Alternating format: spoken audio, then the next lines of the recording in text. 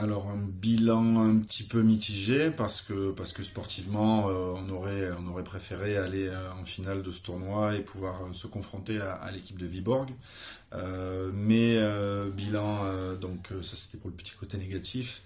même si même s'il y a eu de très très bonnes choses, ça nous a permis de d'avoir des axes de travail pour la suite au niveau handball. Ça nous a permis de trouver des affinités, des charnières et des associations intéressantes. Ensuite, euh, sur le plan, euh, ça c'était sur le plan sportif, sur le plan humain, euh, bah, très positif forcément, parce que passer une semaine tous ensemble, ça resserre, ça crée des liens. Et c'est un petit peu sur ça qu'on avait basé aussi la saison dernière, sur le côté humain. Donc forcément, forcément très positif. Il y a eu un super concours de danse. Je vous invite à aller voir sur, sur nos réseaux pour voir les belles prestations de nos filles. Mais voilà, que du positif, des choses qui se sont qui se sont installées, des choses qui se sont mises en place, des affinités, des liens. Voilà, on sent que que le groupe vit bien, qu'elles aiment passer du temps ensemble. Donc euh, ça c'est le gros point positif.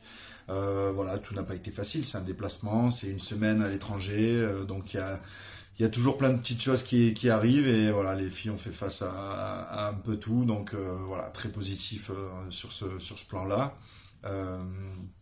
on intègre maintenant cette semaine euh, nos deux Suédoises qui rentrent de, congé euh, après leur, belle euh, aventure au JO. Et voilà, on a encore du travail, on va avancer et on se retrouve samedi à Eric pour un match amical face à Chambray.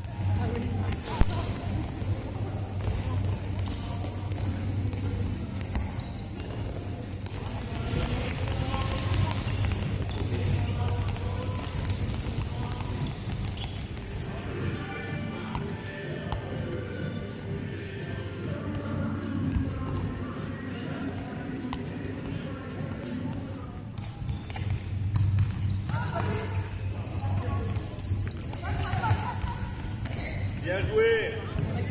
Donc c'est